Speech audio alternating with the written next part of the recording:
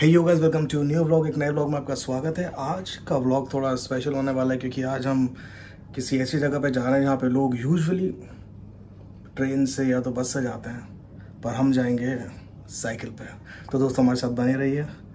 बहुत मज़ा आने वाला है। स्टे ट्यून्ड आ गया और ये हमारी बाइक्स गाड़ी के पीछे लगी हुई अब यहाँ से उस जगह पर जाएँगे जहाँ पर हम लोग की मैराथन टाइप स्टार्ट होगी। तो बस उस लोग बने रहो यार। बढ़िया मत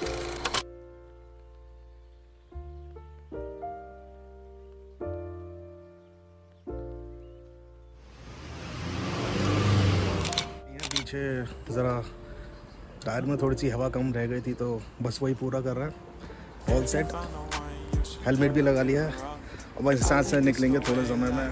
बने रहे। पहले हमने यहाँ पे कुछ इलेक्ट्रोलाइट्स ये गोलियाँ जो हम अपने वाटर बॉटल में डालेंगे। और ये है रिफ्लेक्स क्लियर वे आइसोलेट उन चीज़ों की भी ज़रूरत पड़ेगी। वो हमारा लुब्रिकेंट है। अगर आप देख सकते हैं।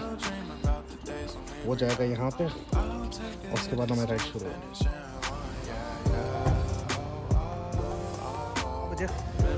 वो नाइन एम का आगे लगा हुआ है तो सोचा कि हम लोग कुछ खा लेते हैं अभी फिर उसके बाद निकलते हैं।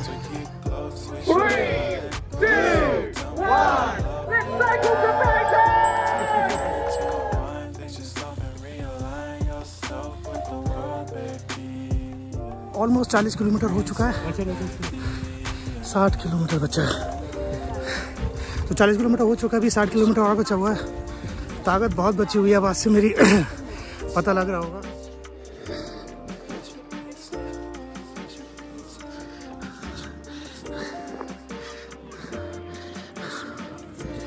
यस ओके तो यहाँ पे क्या होता है ना बड़े बड़े ऐसे टैंक्स लगा देते हैं जिसमें पानी उधर लोग यहाँ से अपनी बॉटल्स भर सकते हैं। जैसे अपनी तरफ़ आते हैं ना बड़े बड़े ट्रक्स वैसे यहाँ पर। ऑलमोस्ट पचास किलोमीटर हम लोग आ चुके हैं। यहाँ पे फीडिंग स्टेशन पे अगर आप ये देख सकते हो, पीछे टॉयलेट्स बने हुए हैं। वहाँ सब रेस्ट कर रहे हैं, पीछे रेस्टोरेंट्स भी हैं। तो बस यहाँ पे रुकेंगे हम लोग। दस मिनट, पंद्रह मिनट कुछ खाते हैं और फिर अगले पचास किलोमीटर को चलते हैं यार। लगा तो था कि आसान होगा पर लग गई है। पर नहीं सौ किलोमीटर तो करना ही है। अभी कितना पहुँच गए हम लोग? दिखाना नहीं चाहता पर मैं तुम्हें ये वाले वॉशरूम सिखाता हूँ जो हम लोग मूवीज़ में देखते हैं ना। जैसे ये और इसका सिस्टम है क्या है। यस हम लोग यहाँ पे रुके हुए जैसे मैंने आपको बताया। वहाँ पर वो जो खुशबू आ रही है बेकन की और सलामीज की। इतना तो पक्का कि वहाँ पे कुछ ना कुछ अच्छा है। मुझे यहाँ से केक दिख गए जो मैं खाता नहीं हूँ ऑब्वियसली शूट तो खाएँगे मेरे पास। तो पहले तो वहाँ से कुछ ठंडा पियेंगे फिर उसके बाद वहाँ पीछे से कुछ खाएँगे। मीठा तो नहीं खाएँगे यार। चलो गाइस मिलते हैं आगे।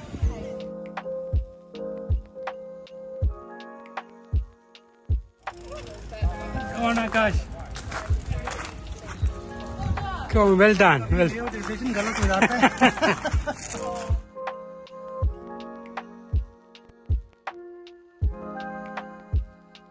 फाइनल पे स्टॉप रहेगा।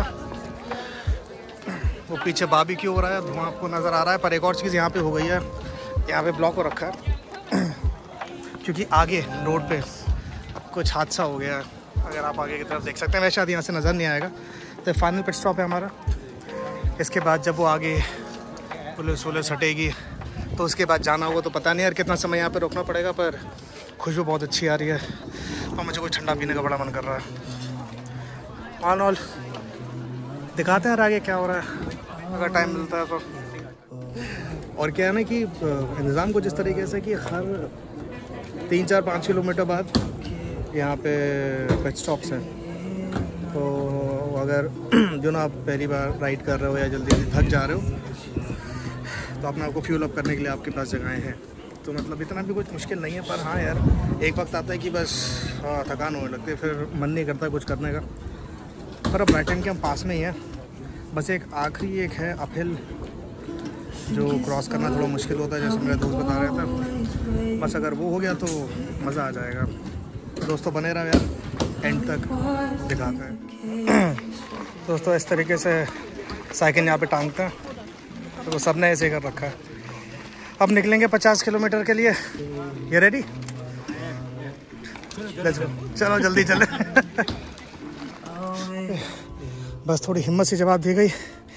हो। ढाई तीन किलोमीटर से ऊपर ऐसी ऐसी चढ़ाई है। जैसे अफ़गानिस्तान तल तक के लिए बिल्कुल वैसी चढ़ाई। तो भाई और ऊपर नहीं जा सकते तो सोचा कि थोड़ा पैदल चलते हैं। उसके बाद जब डाउन हिल आएगा तब उस पर जाएँगे। बना रहा यार। अब क्या, अब तो वापस नहीं लौट सकते, अब तो ब्राइटन पहुँचना ही पड़ेगा। इतना आसान तो नहीं था। पर इतना मुश्किल भी नहीं था। हालाँकि बिना प्रैक्टिस के मैं इतने ज़्यादा किलोमीटर राइड करने निकल गया, पर कहा जाए तो ये जो राइड थी ना बहुत थी। बहुत ज़्यादा मज़ा आया, हालाँकि थक गया था आखिर में और जो फिनिश लाइन पे वो मेडल मिला ना, उसका फील अलग ही था।